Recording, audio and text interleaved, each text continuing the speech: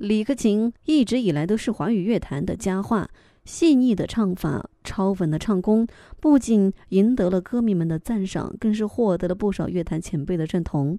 在崭露尖角的时候，就被赋予了无限的期望。但是获奖无数的他，却没能成为天王的接班人，甚至连四大天王都没人入选。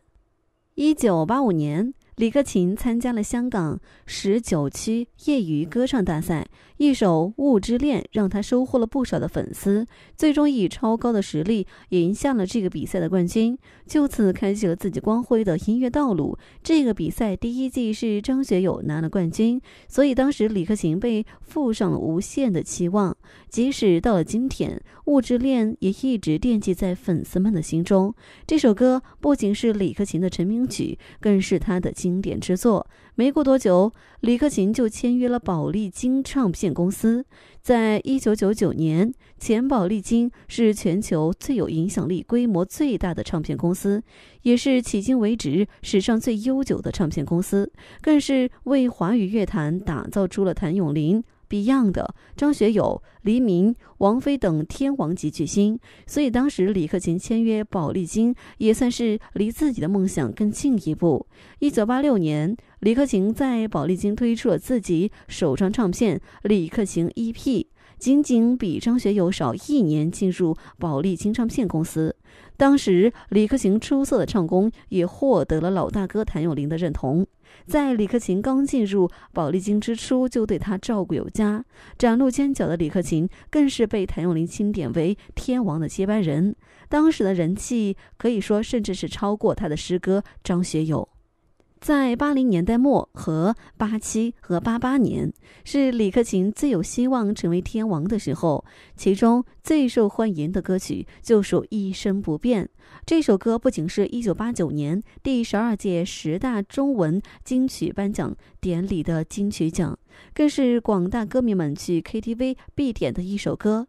要知道，在八十年代，有着谭咏麟和张国荣这两位巨头称霸乐坛。初顾茅庐的李克勤能够拿到金曲奖是非常不容易的。然而，没想到在进入九零年代后，李克勤的音乐生涯就发生了翻天覆地的改变。一九九零年，他发行了《一千零一夜》专辑，其中《眷恋》这一首歌也拿下了一九九零年年度十大劲歌曲金奖颁礼奖的金曲奖。之后却因为公司宣传不到位而闹不和。年轻气盛的李克勤一气之下，就在1993年离开了宝丽金唱片公司。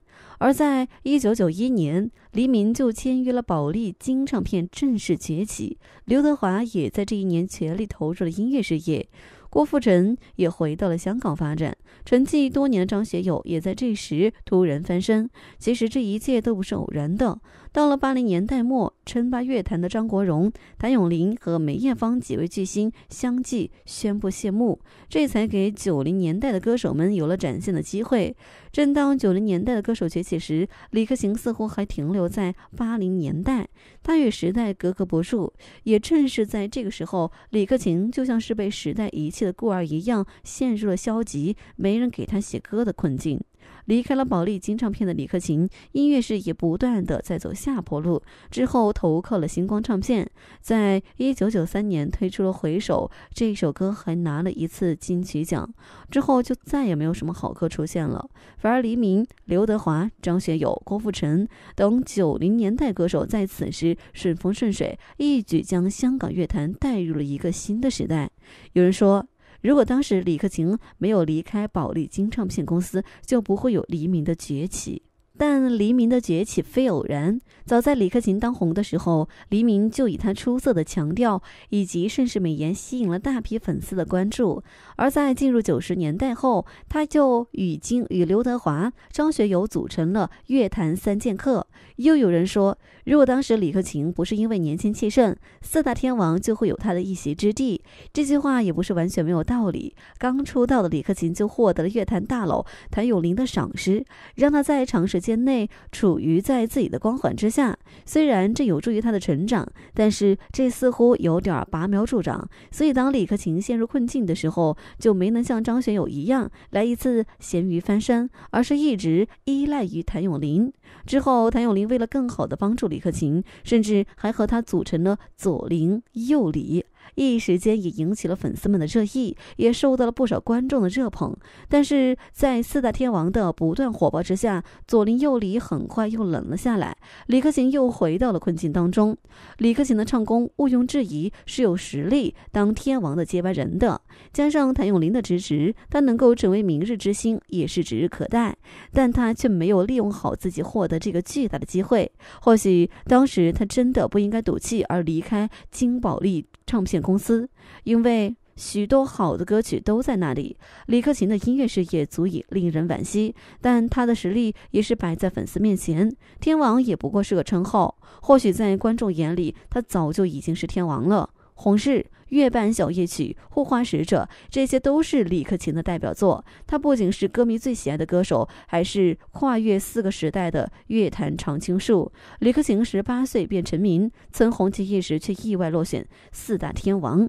命运不及，将他拽下神坛，但为了继续唱歌，他不得不拼命努力。出道三十年，李克勤的音乐之路就像他自己作词的那首《红日》，命运是如此颠沛流离。一九六七年，李克勤出生于中国香港，从小就特别喜欢音乐，经常跟着电视机里歌曲哼唱。那时。他的《温拿五虎》中的谭咏麟作为偶像，随着李克勤的长大，心中向往歌手的梦也越来越坚定。凭借着在学校里参加过几次唱歌节目的经验，李克勤来到了全港十九区业余歌唱比赛，连他自己都没有想到，一路披荆斩棘的他居然赢得了冠军。要知道，这个比赛的上一届冠军就是张学友，可见这个比赛有多受重视。依靠杰出的唱功，李克勤也迎来了很多唱片。公司的签约邀请。一九八五年，十八岁的李克勤加入了宝丽金唱片公司。签约的第二年，李克勤就推出了个人首张同名 EP。但先后出了两张唱片的李克勤却没有溅起太大的水花。面对唱片销量不佳的成绩，公司决定让他多方面发展，尝试影视剧。刚成年不久的李克勤依然一副白面小生的模样，在不少。影视剧中有出演过，《不在少年时》就是他最初的代表作之一。但李克勤的心始终都在音乐上面，直到翻唱了一首《月半小夜曲》，让他的音乐事业稍有起色。这首歌在后来也被称为经典。沉寂几年后，李克勤以一首《一生不变》一举拿下香港十大中文金曲以及香港十大劲歌金曲两大奖项。在颁奖典礼上，还由他的偶像谭咏麟亲自为他颁奖，让李克勤激动不已。当时的歌坛有张国荣、陈百强和谭咏麟等大咖的作证，想要在音乐上出头可是很难的。但李克勤用实力证明了自己，并获得了谭咏麟的欣赏。